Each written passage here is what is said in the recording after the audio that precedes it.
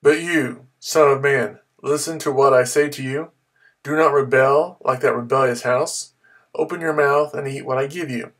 Ezekiel chapter 2, verse 8.